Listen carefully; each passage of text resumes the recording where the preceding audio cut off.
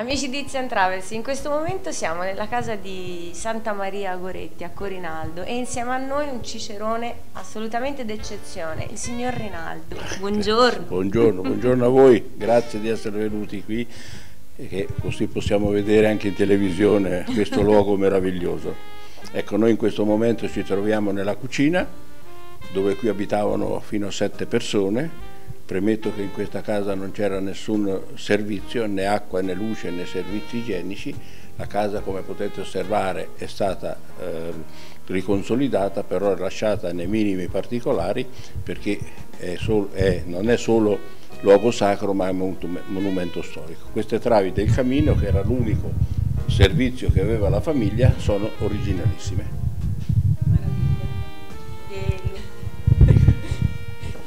Ah, ecco. il phon. Questi chi ha qualche anno in più può, può vedere come usava, l'abbiamo rifatta perché certamente è una cosa molto singola, quando non c'era corrente elettrica, non c'era phon, non c'era nulla, questo serviva soprattutto per quando accendevano il fuoco per fare un po' d'aria, per far iniziare la fiamma e poi anche se c'era caldo anche per fare un po' di ventolino.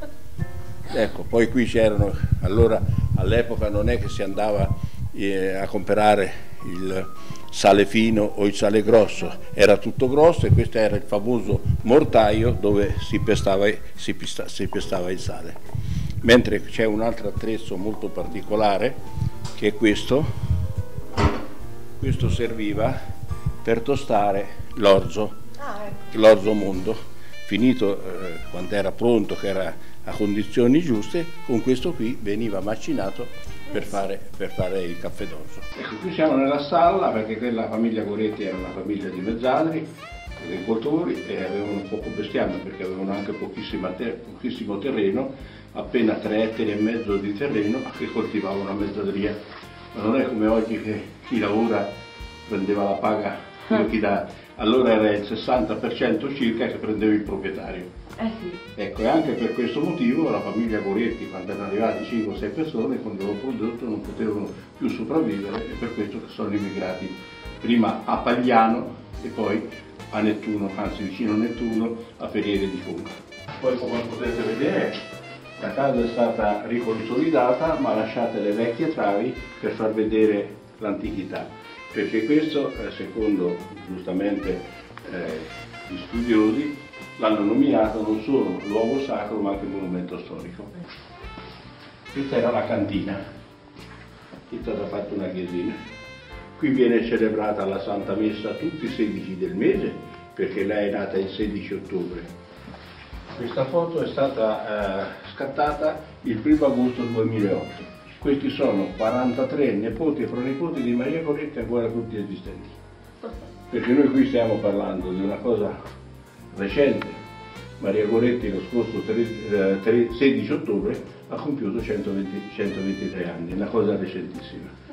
E fra l'altro le dirò di più che io sono nel momento l'unico che ho conosciuto molto bene la mamma perché sono nato lungo questa strada e quando è morta la mamma io avevo quasi 13 anni. Oh.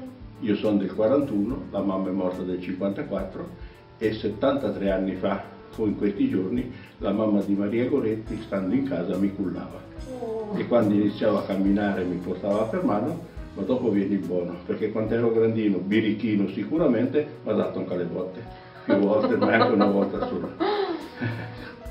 Una madre severa.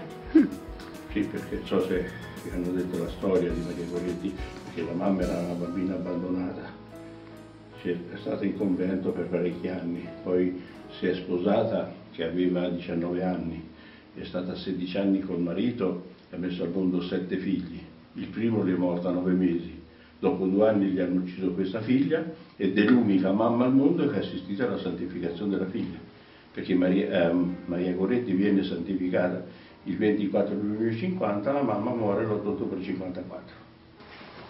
Qua c'è un'altra cosa molto, sono due cose molto particolari. Questa è la stanza dove è nata, però il letto matrimoniale, come raccontava Assunta, è andato distrutto perché all'epoca era sopra delle tavolacce, come diceva lei, con il materasso di foglie di grano turco Allora, dopo la sua vedovanza, che è rimasta vedova, come dicevo, 39 anni, ha acquistato questo letto, ha passato tutto il resto della sua vita su questo letto ed è morta su questo letto 8 ottobre 54. Accanto a lei c'è la figlia Ersilia, la penultima, ma quel signore molto sintetico, come vogliamo dire, molto rigido, è, è Alessandro Serenelli. In poche parole, quel signore lì, 52 anni prima, ha ucciso la figlia e, e, è il primo a correre da Macerata a pregare sul corpo della mamma. Questa immagine qua, siccome Maria Goretti non aveva nessuna foto, grazie alla mamma con delle testimonianze di noti pittori sono venute fuori le immagini, più di una, ma leggermente diversa. Anche questa rappresenta Maria Goretti ma questi sono stati fatti i francobolli il giorno della santificazione. Poi sotto Villa Roccia ci sono dei santini con la casa e tutto.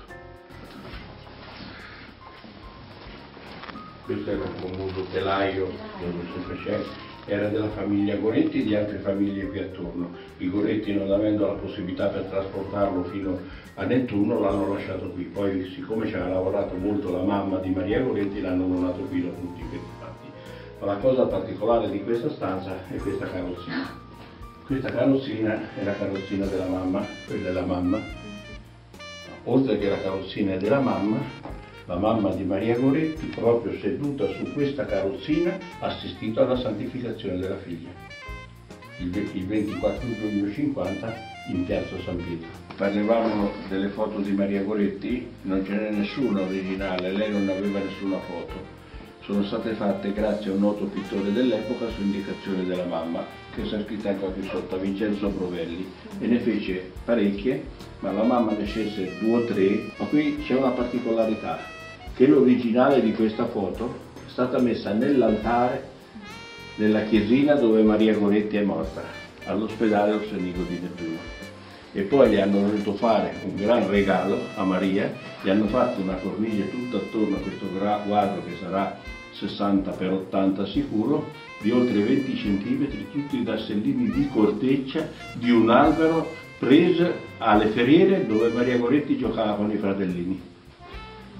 È una storia che appassiona mm. a tantissima gente perché una bambina eh sì. ha avuto coraggio, ha avuto coraggio di perdonare il suo aggressore poco prima di morire. La mamma lo perdona finito il processo. Finito il processo il giudice chiede alla mamma, dice lei sarebbe in grado di fare come la sua figlia, di perdonare, certo che lo perdonerò. Allora in sala viene un grande mormorio perché giustamente perdonare. E mamma Assunta fa tacere a tutti con delle semplici parole e se il nostro Signore non ci perdonasse delle nostre malfatte che fine faremmo tutti? e il Serenelli è venuto a sapere dopo 7-8 anni che era in carcere, che Maria l'aveva perdonato poco prima di morire, che la mamma l'ha perdonato al processo, dopo 7-8 anni tenta di suicidarsi in carcere. Ma quella notte prima del suicidio le appare Maria Coretti, dicendole che con questo gesto non risolvi nulla, presto uscirai di carcere e trovati un luogo di preghiera. Lui poi ha passato tutta la sua vita in due conventi, prima ad Ascoli Picene e poi a Macerata. E c'è un'altra particolarità molto grande, che il papà di Maria Coretti, come abbiamo già detto, è morto a 42 anni per malaria il 6 maggio 1900. L'uccisore di Maria muore esattamente dopo 70 anni, anche lui nel pomeriggio del 6 maggio. E questi due 6 maggio, a distanza di 70 anni, la morte del papà e la morte dell'uccisore, sono tutti e due di domenica.